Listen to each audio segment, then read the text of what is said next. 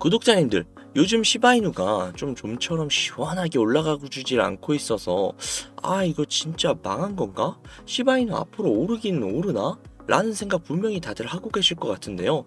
오늘 드디어 시바이누가 폭발적인 상승을 보여줄 수밖에 없다는 강력한 증거가 나왔습니다. 자세한 이야기 바로 시작할게요. 얼마 전에 있었던 미 금리 인하로 인해 비트코인의 시세가 점진적으로 상승을 하고 있죠. 비트코인의 상승은 가상화폐판 전체의 호재라고 볼 수 있다는 건 다들 이미 너무나도 잘 알고 계시죠. 자, 그런데 이 이야기를 왜 꺼내느냐? 바로 지금 가격 상승에 중국 역시도 영향을 끼치고 있다는 건데요. 중국은 다들 아시겠지만 가상화폐를 규제를 하고 있죠. 하지만 돈이 된다면 어떻게든 하는 게 중국 아니겠습니까? 규제를 하던 말던 채굴풀을 통제하고 있던 말던 중국의 채굴자들은 일단은 채굴을 하고 있다는 겁니다. 그 점유율이 세계에서 가장 높대요. 1위랍니다. 1위. 규제를 당하고 있는데도 말이죠.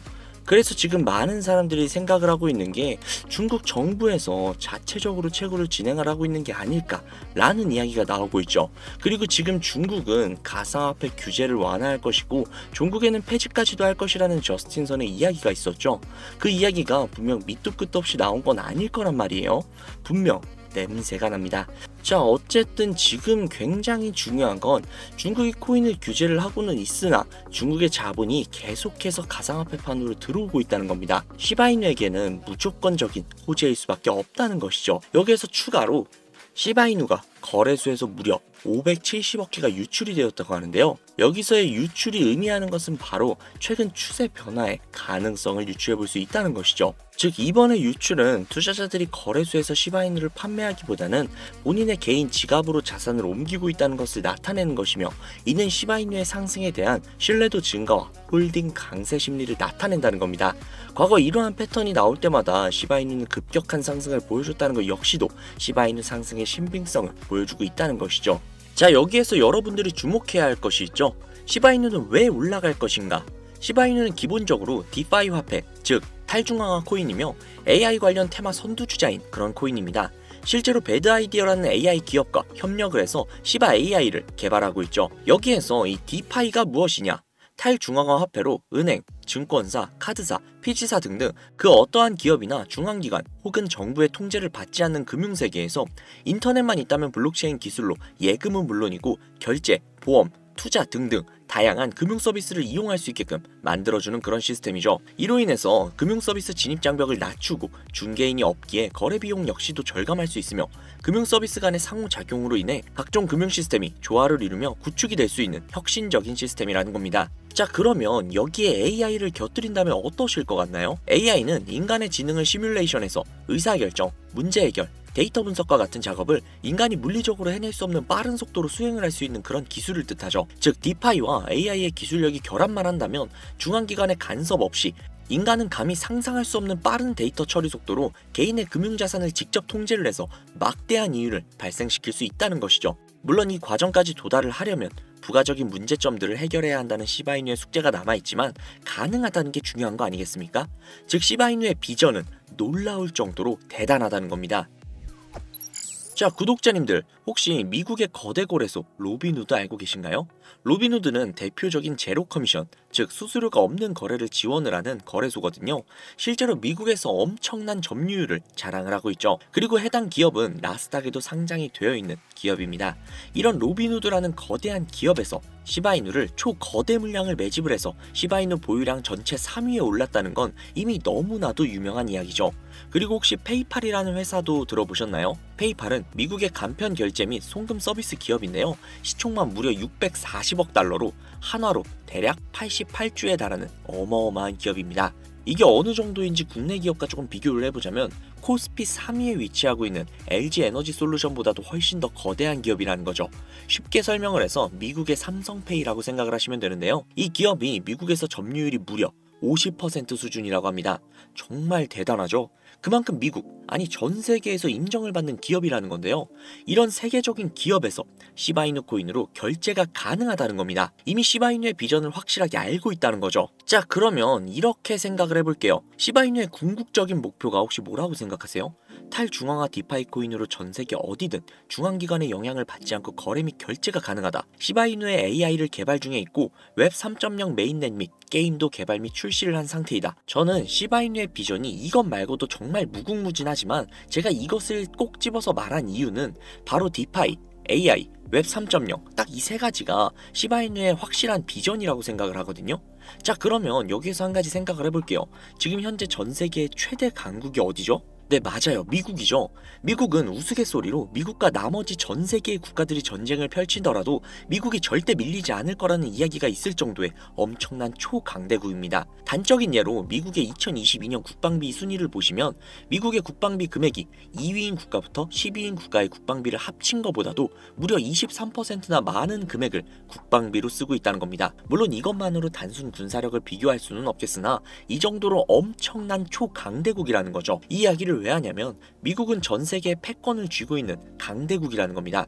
단순히 군사력뿐만이 아니라 경제력으로도 말이죠. 요즘 시대는 힘으로 찍어 누르는 시대보다 자본주의 세상이기 때문에 경제 패권이 엄청나게 중요하다는 거예요. 지금 전 세계 공용 화폐로 쓸 수 있는 유일한 화폐는 바로 달러죠. 하지만 이제는 세상이 많이 바뀌고 있어요. 언제부턴가 현물 화폐보다 편리하고 안전하며 유동성마저도 뛰어난 암호화폐가 탄생을 하고 말았죠. 이 암호화폐가 탄생을 하고 오랜 시간이 지나지 않아 달러의 패권이 달러의 입지가 조금씩 흔들리기 시작을 했고 지금의 수많은 암호화폐들이 달러의 자리를 위협을 하고 있는 상황입니다. 앞으로 암호화폐가 달러를 잡아먹게 된다면 미국의 미래는 전 세계에 패권을 줄 수가 없게 되겠죠. 자, 그래서 어떻게 하고 있죠? CBDC, Central Bank Digital Currency, 즉 중앙은행 디지털 화폐, 미국에선 이 CBDC를 활용을 해서 달러를 디지털화시킬 계획을 가지고 나왔다는 거죠. 하지만 CBDC를 발행하기에 너무나도 오랜 시간이 필요하기에 그 시간 동안 달러의 패권이 흔들릴 것이고 그리 된다면 달러의 입지가 위험해지고 경제 패권을 더 이상 줄 수 없게 될지도 모른다는 거죠. 그래서 미국의 바이든 정부는 암호화폐를 규제하기 시작을 했습니다. 수년간 암호화폐를 규제를 하고 압박을 했죠. 하지만 이제는 그게 더 이상 불가능해졌다는 거예요. 세상이 달라졌다는 거죠. 그리고 그걸 알고 있던 세상의 흐름을 읽고 있는 트럼프는 비트코인 컨퍼런스에서 암호화폐 대통령이 되겠다 라며 자신있게 외쳤던 것이죠. 현재 트럼프는 미대선 당선이 될 가능성이 굉장히 높은 후보라고 여겨지고 있죠. 이미 뛰어난 사업가였던 그가 이 흐름을 놓칠 리가 없다는 겁니다. 물론 현재 해리스 역시도 유력 후보이기도 하죠. 과거 암호화폐 규제론자였던 해리스 역시도 이젠 시대가 뒤바뀌었다는 걸 알고 암호화폐를 밀어주겠다고 선언까지 했으니 어떤 후보가 당선이 되더라도 암호화폐는 지금보다 훨씬 더 성장할 수밖에 없다는 겁니다. 자 그렇다면 올해 있을 가장 큰 이벤트인 미 대선 이 미대선을 기점으로 시바이누의 행보가 어떻게 될 것 같으세요? 상승한다? 하락한다? 솔직히 잘 모르시겠죠? 그래서 제가 그에 대한 답변으로 어마어마한 자료를 찾아왔습니다. 이 정보는 제가 우연히 발견을 한 정보인데요. CBDC를 위해 기반으로 삼을 가교통화 코인의 적합성 및 미 연방지구별 논의사항을 보여주는 그런 자료입니다. 여기에 보시면 뭐 보스턴, 뉴욕, 필라델피아, 애틀랜타, 시카고 등등 수많은 미국 지역들의 통합 예측 자료들이 나오고 있죠. 그리고 아래로 쭉 내려보시면 자, 쭉 내려볼게요. 좀 양이 굉장히 많은데 여기 맨 아래에 보시면 어 여기 있네요. cross linked 즉 가교 통화로서의 적합성을 보여주고 있는 표가 있습니다. 여기에 대부분의 코인들을 보시면 전부 다 뭐 부적합이라고 나와 있죠. 하지만 여기 리플과 시바이누는 보류라고 표기가 되어 있는 걸 확인할 수가 있습니다. 뭐 그럴 수 있어요. 리플은 법적 공방이 남아있고 시바이누 같은 경우는 탈중앙화를 목적으로 나온 코인이다 보니 어찌 보면 CBDC와는 어울리지 않을 수도 있죠. 하지만 다르게 생각을 해보신다면 두 코인 모두 세계 어디든 자유롭게 금융 서비스를 제공받을 수 있다 보니 이보다 더 뛰어나고 자유로운 가교 통화가 있을 수 있을까? 라는 생각이 들기도 했죠. 그런데 저는 여기에서 충격적인 내용을 확인할 수 있었어요. 아마 뭐 벌써 눈치채신 분들도 있으실 텐데 여기 보이시나요? 리플과 시바이누조차도 보류로 나와 있는데 이 생소한 코인이 TBA 적합이라고 나와 있습니다. 진짜 너무나도 생소한 코인이었어요. 그래서 제가 이 코인에 대한 정보를 좀 찾아봤는데 정말 신기할 정도로 노출되어 있는 정보가 거의 없었습니다. 그런데 바이낸스에 이 코인이 상장이 되어 있더라고요. 저는 그래서 의구심이 들었습니다. 전 세계 은행을 이을 수 있는 가교 통화 자리에 아무도 모르는 코인이 그것도 정보도 별로 없는 코인이 리플과 시바이누보다도 높은 자리를 선점을 하고 있다? 그리고 신기할 정도로 정보가 완벽하게 통제가 되어 있다? 아무리 봐도 너무 이상해서 곰곰이 생각을 해보다가 있을 미대선이 떠올라서 혹시 4분기에 이 코인을 가교통화로서 밀어주려는 건가? 라는 생각이 확 들더라고요. 그래서 바로 국내 거래소 중 가장 거대한 거래소인 업비트를 확인해 봤는데 놀랍게도 저번 달에 이미 상장이 되어 있었습니다. 그뿐만이 아니었죠. 일본의 비트플라이어, 중국의 후오비, 미국의 코인베이스, 유럽의 비트스탬프, 인도의 와지르엑스, 두바이의 바이비트 등등 전 세계에서 내로라 할 가상화폐 거래소에 모두 4분기 상장 예정 코인으로 올라와 있었습니다. 이제야 이해가 되기 시작을 했죠. 이 코인을 말미삼아 미국이 다시 한번 전 세계의 경제 패권을 쥐려고 하고 있는 것 같습니다. 미 대선에 발맞춰서요. 즉 대선 관련 코인주이며 가교 통화로서 활용 가능한 CBDC 코인이라는 것이죠. 앞서 영상에서 보여드린 대로 이 코인의 가격대는 아직 그리 높지 않습니다. 하지만 꾸준히 우상향을 하고 있다는 거예요.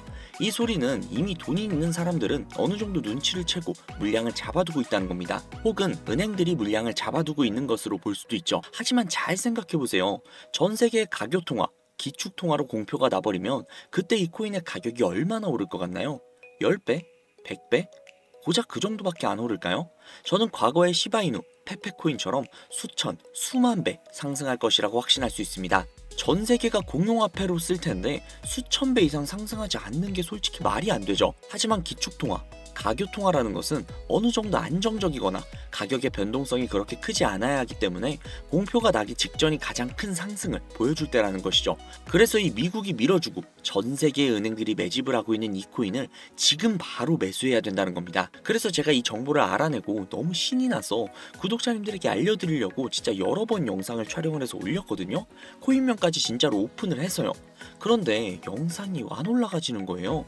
아, 이게 유튜브 측에서 자체적으로 필터링이 되는 것 같더라고요. 언급을 안 하고 모자이크만 풀어도 바로 그냥 필터링이 되어버려요. 그로 인해서 벌써 유튜브 측에서 경고를 두 번이나 먹었어요. 이거 진짜 한 번만 더 경고 먹으면 이 코인 정보가 나발이고 그냥 앞으로 구독자님들께 좋은 정보를 알려드릴 수가 없거든요. 그래서 진짜 어쩔 수 없이 제가 상단부에 제 개인 번호 적어둘 거거든요. 보이시죠? 제 개인 번호예요. 010-5734-8420 010-5734-8420 이 번호로 숫자 7 적으셔서 문자 보내주시는 분들에게 앞서 말씀드린 기축통화, 가교통화로서 전 세계가 매집을 할 그 코인, 그 코인의 정보를 제공해 드리도록 하겠습니다. 제 구독자님이신 걸 확인한 후에 바로 제공해 드릴게요. 확인 작업이 어느 정도의 시간이 소요가 되다 보니 조금이라도 빠르게 정보를 받아보시고 싶으신 분들은요. PC 버전은 아래 더보기란을 클릭을 하신 후 나오는 링크를 누르셔서 정보를 남겨주시면 더욱더 빠르게 정보를 받아보실 수 있고 모바일 버전은 시간 옆에 더보기란을 누르셔서 아래로 내리시면 링크가 나오니까요. 영상을 다 보신 다음 해당 링크에 정보를 남겨주시면 보다 더 빠르게 정보를 받아보실 수 있습니다. 요즘 저를 사칭을 해서 정보를 팔아먹으려고 하는 악질업자들이 너무나도 많이 늘어나고 있습니다. 제보가 진짜 빗발치고 있어요. 다시 한번 말씀드릴게요. 저는 절대로 금전을 요구하거나 멤버십을 가입 유도를 한다거나 아니면 뭐 어디 회원가입을 하라는 등 혹은 개인정보 등을 요청을 절대로 하지 않아요. 그런 사칭범들이 워낙 많아서 문자 보내주시는 분들 한 분 한 분 제 구독자님이신지 확인 후 공유해드리다 보니 약간의 시간이 소요가 된다는 점 다시 한번 양해 부탁드릴게요. 저는 진짜 많은 거 안 바래요. 오로지 제 채널을 키우기 위해 제 영상을 보시고 제 채널 구독, 좋아요, 알림 설정, 그리고 댓글 정도 남겨주시면 저는 그걸로 정말 만족합니다. 그러니 이것 외에 요청하시는 게 있다면 제가 아니라 사칭이니까요. 진짜 조심하셔야 돼요. 앞으로 더욱더 좋은 영상, 더욱더 도움이 되는 정보로 찾아뵙도록 하겠습니다. 오늘 하루도 고생하셨습니다. 감사합니다.